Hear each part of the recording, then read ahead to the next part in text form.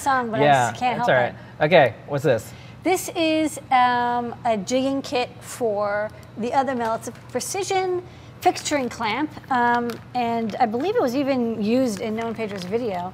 Um, but it has these like little alignment clamps and toes, and so you can instead of taping things down, you can um, fixture them in place and clamp them down into the bed of the Othermill, which has um, screw mount holes, so you can basically attach to them.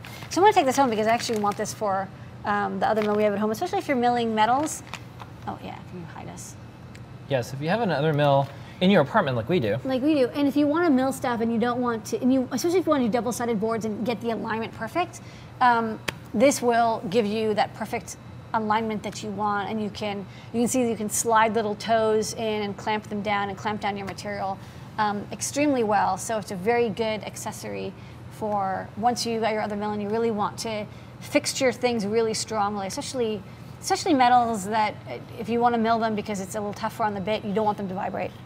Okay, next up, USB Complete. It's a book. It's good. This is a great book. This is one of my favorite technical books by Jan Axelson, um, who wrote a bunch of books on different protocols, but um, this is the best book on USB.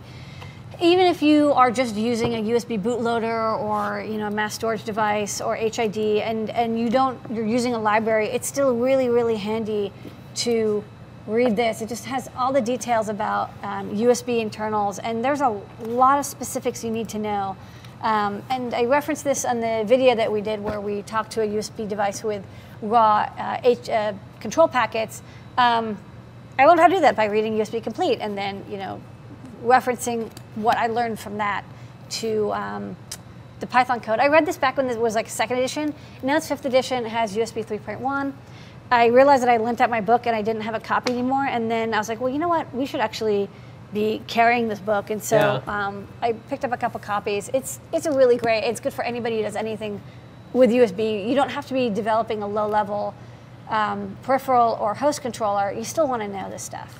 Okay, next up, some teensy like stuff. This is prop shields, prop wings, prop add-ons for the Teensy 3.2 and uh, 3.1 and LC. These are handy little um, add-on boards. So this is designed essentially for props, but I can kind of for anything you want. And I'll show this on the overhead, I think. So you get your Teensy 3.2, for example, and there's two versions. So let me get this open. So um, this basically you you would solder this on to here, and uh, there's two versions. There's this version that has um, these chips in place.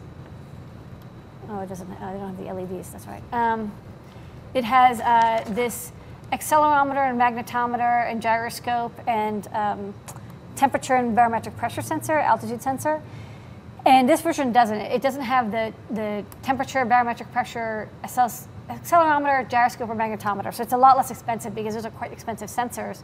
But if you want something that has a lot of sensors on it, um, grab this one. And if you just want uh, the other accessories, grab this one. So that's the difference. But uh, both of them have a two watt amplifier, and it uses the uh, I think it uses the DAC output, so it's mono, but you get two watts uh, output, probably Class D amplifier. Um, it has an 8 megabyte flash, SPI flash storage, which is very handy if you want to uh, store audio or sensor data in it, either reading out or storing. And it has two um, 5 volt output pins, so that's really good for driving NeoPixels or uh, DotStar LEDs, anything that needs 5 volt or prefers 5 volt input or output uh, to it, and then yeah, you just plug your teensy on top and you solder it in place. And it's kind of like an all-in-one. It, it's kind of interesting because I'm designing a lot of wings, and I'm like, this is an interesting idea. It has kind of all the things you want for a lot of projects. If you want data storage or, or audio playback, um, amplifier only mono, but that's good enough for most people, and uh, full 10 DOF sensing for uh, motion. And this uses um, a chipset I've never used before. It's uh, from NXP Freescale, and I didn't even know that Freescale made accelerometers, magnetometers, or gyroscopes, but apparently they do, which I, I had not seen the Freescale. I've seen like, you know, all these other different brands, but Freescale now has them, um, Freescale slash NXP, and they also wrote and released um, a, a fusion, sensor fusion code that apparently does a pretty good job of orientation. And that might be an interesting.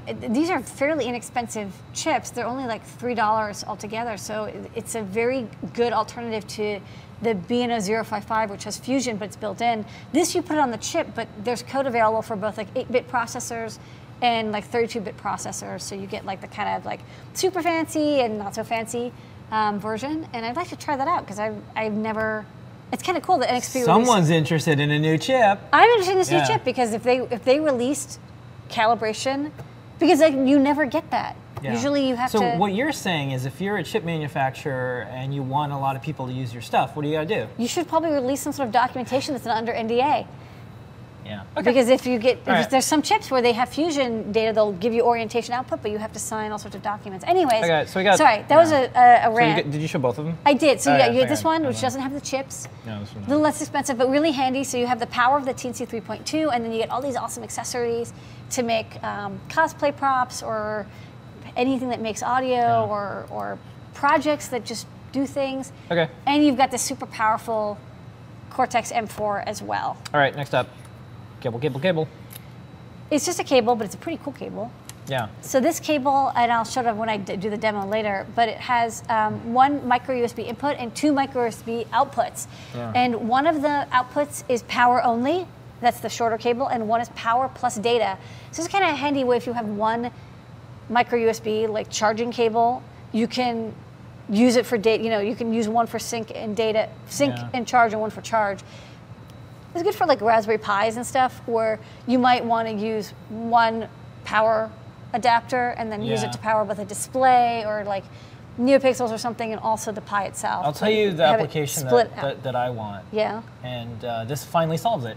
So I have a, a, a hotspot, one of these like little portable Wi-Fi things, Mm-hmm. and when you plug it in to charge it, it like turns on and it shows up as a hard drive, and like all of a That's sudden right, you can select which one you want, yeah, yeah. yeah. So I don't like that. I just want to charge it. Yeah. But for a phone or something else, I want it to be data. I want it to go through Mm-hmm. USB. So this is perfect for that. 'cause some devices, please don't ever want. I don't want you to ever talk to my computer ever. That's true. This is one. Of, this is like those um, like the USB condoms, but it's like you get a choice. You just use the long cable. yeah. That's what they're called. I don't want devices to talk to my computer unless I think it's okay. I just want to charge them. But Yeah. So I'm- you use the yeah. short cable when you just want to charge, no data syncing, and the long one when you want to do data syncing as well as charging. Yeah. But So it's good for like you can choose one or the other or both. Anyways, a person emailed and suggested it, and I was like, this is actually a, a pretty good idea for a cable. Very handy. Okie dokie. I'm using it right now to power Yeah. these two demos. Okay. And then the star of the show, besides you this week, is the Feather LoRa. What is this thing? Uh, this is uh, another generation of Feather. So this is the Feather 32U4. It's our kind of a pseudo standard for small battery powered microcontrollers. This uses an Atmega 32U4, same chip that's on the Flora, Arduino Leonardo, Arduino Micro. It has battery charging built in, has built in USB with um, bootloader. It works great with the Arduino IDE.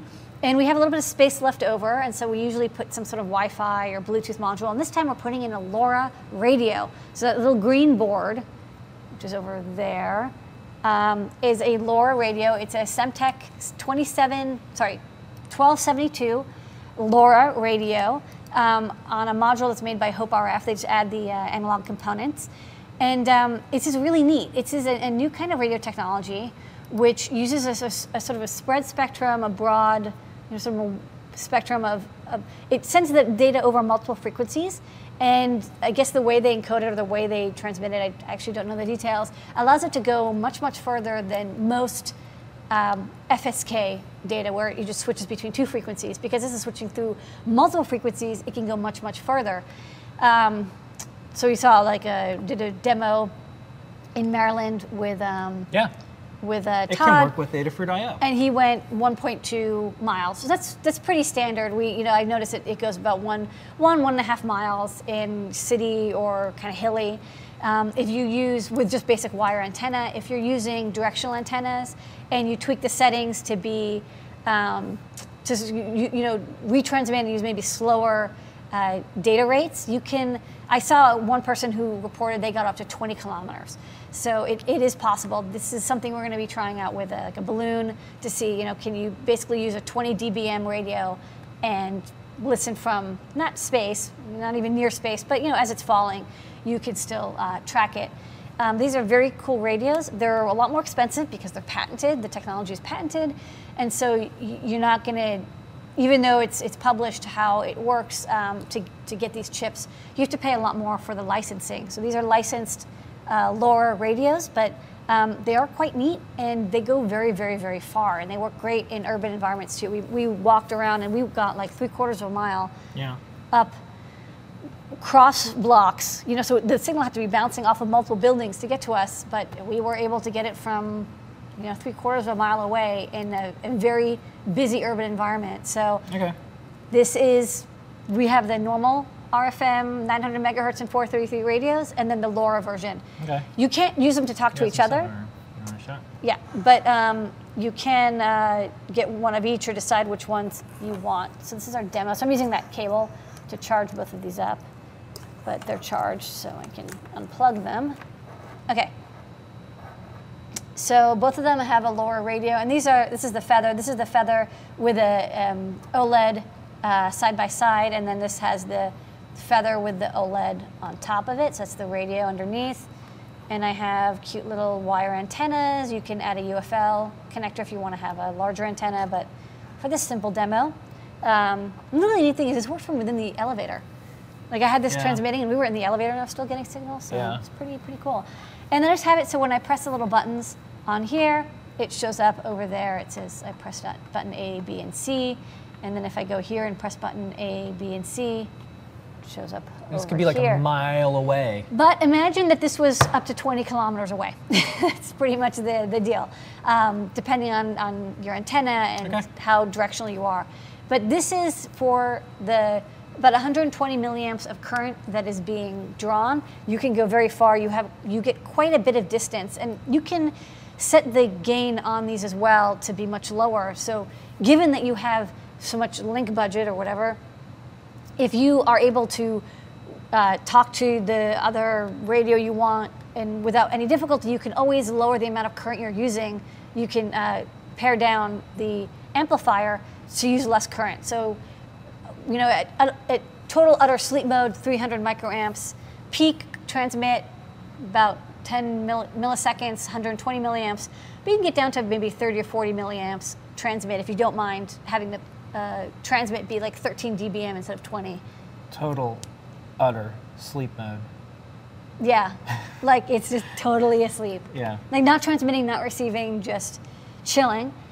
Um, but these are great. So this is, you know, we're going to have another radio that's much, much bigger. But 20 dBm is the limit for a lot of. I, I've noticed it's it's a lot of ISM bands prefer you stick to about 20 dBm or less. I think.